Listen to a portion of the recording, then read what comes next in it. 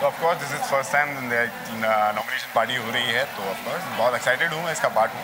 End of course बहुत सारी चीज़ें एक्सपेक्ट की हैं। लेट्स सी अंदर जाने के बाद क्या क्या होने वाला है।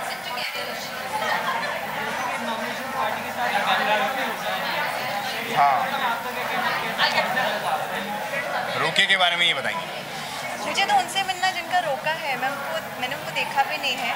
वांट टू कंग्रेचुलेट देम बहुत एक्साइटेड और बहुत ही डिफरेंट यू नो इवेंट है ये. तो एम एक्साइटेड और देख, देखना है मुझे कौन है वो जिनका रोका है और जिनके रोके में इतने सारे सेलिब्रिटीज़ आए हैं।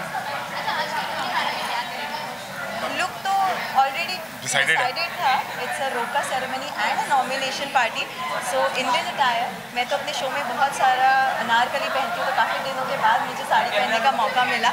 सो आई एम अच्छा लग रहा है साड़ी पहन के वापस से अपने दोबारा लुक में आने